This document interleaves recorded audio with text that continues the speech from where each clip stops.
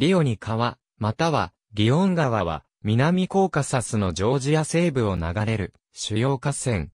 同国、ラッチャ地方のコーカサス山脈に源を発し、西へ流れ、国海に注ぐ。河口には、ポッティの町がある。クタイ市も、この川沿いに位置する。長さは 327km、流域面積13,400平方キロメートルであり、全体がジョージア国内にある川では最長である。川は、コーカサス山脈南側の標高2960メートル地点から始まっている。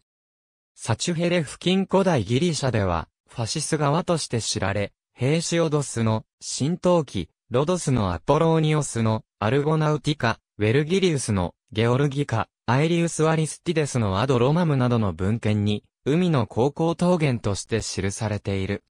ソクラテスは、パイドンで、ヘラクレスの柱とファシス側の間は、世界の一部に過ぎないとした。